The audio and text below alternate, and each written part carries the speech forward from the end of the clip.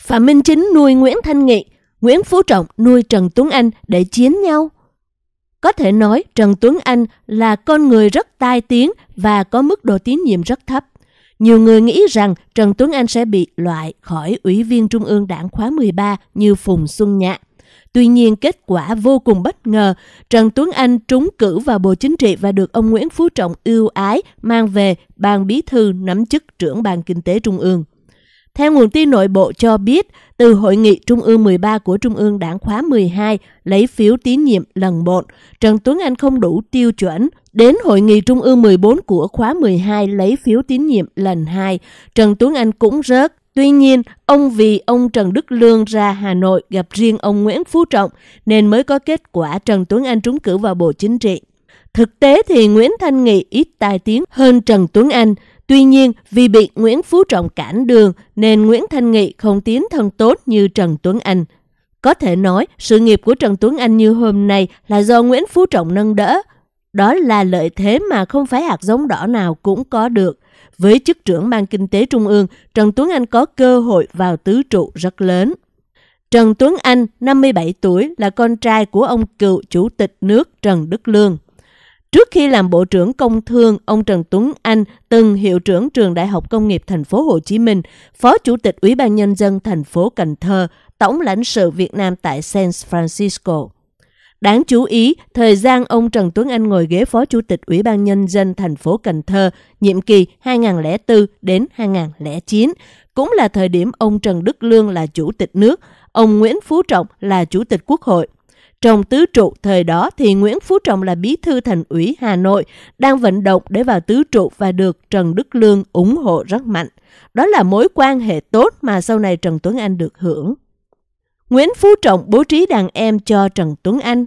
Ông Nguyễn Phú Trọng là người Hà Nội, ông ta có đầu óc địa phương rất nặng. Việc loại bỏ Nguyễn Đức Trung để đưa Chu Ngọc Anh về nắm chủ tịch thành phố cũng là ưu tiên bố trí người Hà Nội như thế. Lần này, ông Nguyễn Phú Trọng lại một lần nữa lo cho Trần Tuấn Anh rất chu đáo. Nếu nói Phạm Minh Chính đưa đàn em ở địa phương Thanh Hóa Bùi Hồng Minh làm thuộc hạ cho Nguyễn Thanh Nghị, thì hiện nay ông Nguyễn Phú Trọng có vẻ như cũng là điều tương tự với Trần Tuấn Anh. Theo tin mới nhất thì ông Nguyễn Phú Trọng đã chọn một người quê ở Hà Nội làm phó cho Trần Tuấn Anh. Đó là ai? Đó chính là ông Đỗ Ngọc An. Vậy Đỗ Ngọc An là ai? Tiểu sử tóm tắt ông Đỗ Ngọc An, Phó trưởng Ban Kinh tế Trung ương. Ông Đỗ Ngọc An, 58 tuổi, quê ở xã Tào Dương Văn, huyện Ứng Hòa, Hà Nội.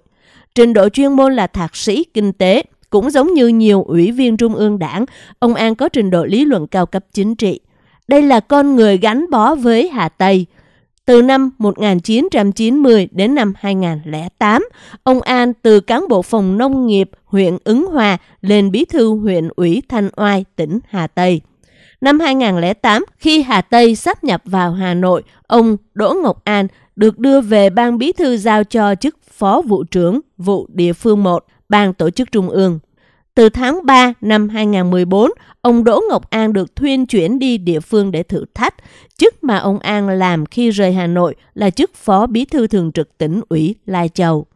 Từ tháng 6 năm 2015 đến 12 tháng 2 năm 2019, ông An được Trung ương bố trí cho chức phó bí thư tỉnh ủy, chủ tịch Ủy ban Nhân dân tỉnh Lai Châu. Từ 13 tháng 2 năm 2019 đến 3 tháng 6 năm 2021 là phó bí thư đảng ủy khối các cơ quan trung ương, bây giờ thì được ông Trọng bố trí về làm phó cho ông Trần Tuấn Anh. Có thể nói Trần Tuấn Anh đang được Nguyễn Phú Trọng yêu ái rất nhiều. Xây dựng đế chế cho Trần Tuấn Anh Ban bí thư được xem như là bộ phận dưới quyền điều khiển của ông Nguyễn Phú Trọng, được ông Trọng đề xuất – ban bí thư đã bố trí ông Đỗ Ngọc An vào ghế phó trưởng ban tổ chức trung ương. Chiều ngày 10 tháng 6 năm 2021, Ban tổ chức Trung ương đã làm công tác mà tính thủ tục là tổ chức hội nghị triển khai quyết định của Ban Bí thư về công tác cán bộ và trao quyết định của Ban Bí thư về việc điều động, bổ nhiệm cán bộ giữ chức Phó trưởng Ban Kinh tế Trung ương. Ông Hoàng Đăng Quang, Phó trưởng Ban tổ chức Trung ương đã công bố toàn văn quyết định điều động, bổ nhiệm nhân sự theo quyết định số 112, quyết định nhân sự Trung ương ngày 4 tháng 6 năm 2021 của Ban Bí thư điều động, ông Đỗ Ngọc An, Phó Bí thư Đảng ủy khối các cơ quan trung ương, giữ chức Phó trưởng ban Kinh tế Trung ương. Đây được xem là công tác bố trí mang tính chiến lược. Ông Nguyễn Phú Trọng đang muốn xây dựng Ban Kinh tế Trung ương thành một ban có sức mạnh lấn át Bộ Công Thương bền chính phủ. Như vậy, kể từ đây, ông Trần Tuấn Anh có một cấp phó là người Hà Nội. Người này cũng được ông Trọng ưu ái không khác gì ưu ái Trần Tuấn Anh. Sắp tới Ban Kinh tế Trung ương triển khai rất nhiều nhiệm vụ quan trọng, được Ban Bí thư giao, nhất là việc kiểm soát các dự án kinh tế bên chính phủ. Ông Trọng đang muốn xây dựng Ban Kinh tế Trung ương bao trùm tất cả. Ban này cần nắm chắc các dự án kinh tế mà bên chính phủ triển khai, đặc biệt là các dự án trong quyền hạn của Nguyễn Thanh Nghị.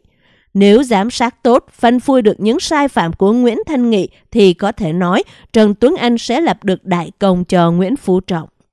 Điều đáng nói là trong lần bổ nhiệm lần này, ông Trọng còn ưu ái Trần Tuấn Anh được kéo đàn em bên Bộ Công Thương về phụ tá cho mình. Có thể nói, nhờ bàn tay ông Nguyễn Phú Trọng mà Trần Tuấn Anh đang xây dựng đế chế của ông tại Ban Kinh tế Trung ương. Được biết, tại hội nghị bố trí nhân sự lần này, ông Nguyễn Hữu Nghĩa, Phó trưởng Ban Kinh tế Trung ương cũng trao quyết định số 77, quyết định nhân sự Trung ương ngày 22 tháng 4 năm 2021 của Ban Bí thư điều động bổ nhiệm ông Dương Duy Hưng, vụ trưởng vụ kế hoạch Bộ Công Thương giữ chức trợ lý ông Trần Tuấn Anh. Trần Tuấn Anh là một cậu ấm đúng nghĩa, cuộc sống cá nhân mang nhiều tai tiếng, mọi chức vụ đều được bậc cha chú thiết kế sẵn. Giờ là ủy viên Bộ Chính trị, trưởng Ban Kinh tế Trung ương là vị trí rất cao. Đường vào tứ trụ không còn xa nữa và chỉ cần 4 năm thì Trần Tuấn Anh có thể sẽ là người đứng trước cơ hội rất lớn. Điều quan trọng là đã tiến rất sát với vị trí tứ trụ, nhưng ông Trần Tuấn Anh vẫn còn được sự che chở của Nguyễn Phú Trọng. Trần Tuấn Anh và Nguyễn Thanh Nghị ai lợi thế hơn? Trần Tuấn Anh lớn tuổi hơn, Trần Tuấn Anh lớn hơn Nguyễn Thanh Nghị một con giáp. Nếu xét về tuổi thì Trần Tuấn Anh bất lợi hơn Nguyễn Thanh Nghị vì quỹ thời gian cho nghề chính trị của ông Tuấn Anh không dồi dào. Tuy nhiên, Trần Tuấn Anh đang có lợi thế là đang ủy viên Bộ Chính trị trong khi Nguyễn Thanh Nghị chỉ là ủy viên Trung ương đảng. Để bước vào Bộ Chính trị, Nguyễn Thanh Nghị phải nỗ lực rất nhiều vì Nghị phải cạnh tranh với rất nhiều đối thủ lớn. Điểm lợi thứ hai là chức trưởng ban kinh tế trung ương luôn là chức dự bị cho vị trí tứ trụ. Trước đây ông Trương Tấn Sang và giờ đây là Vương Đình Huệ. Cả hai đều được vào tứ trụ, trong khi đó Nguyễn Thanh Nghị còn rất xa vị trí ấy. Không biết hiện nay Liên minh Nguyễn Tấn Dũng, Phạm Minh Chính lo cho Nguyễn Thanh Nghị như thế nào. Nếu không củng cố quyền lực vững chắc thì Nghị rất khó vượt qua nhiều cản lực mà ông Nguyễn Phú Trọng đã giăng ra. Có vẻ như ông Nguyễn Phú Trọng đang muốn xây dựng tương lai cho Trần Tuấn Anh. Ông Trọng thường hay xây dựng rất nhiều thuộc hạ để có kế sách dự phòng. Tuy Trần Tuấn Anh là người được ông Nguyễn Phú Trọng ưu ái là một lợi thế, nhưng thực tế cho thấy nhiều lần ông Nguyễn Phú Trọng đã lật kèo với đàn em, mà trường hợp Đinh Thế Huynh là ví dụ. Nói tóm lại, làm đàn em của Nguyễn Phú Trọng thực sự không có gì là đảm bảo. Đó là điểm bất lợi duy nhất với Trần Tuấn Anh. Quý vị và các bạn vừa theo dõi bản tin Phạm Minh Chính nuôi Nguyễn Thanh Nghị, Nguyễn Phú Trọng nuôi Trần Tuấn Anh để chiến nhau do Ý Nhi Thời báo chấm DI trình bày. Cảm ơn quý vị và các bạn. Hẹn gặp lại vào bản tin lần tới. Từ Berlin, Cộng hòa Liên bang Đức. Chào tạm biệt.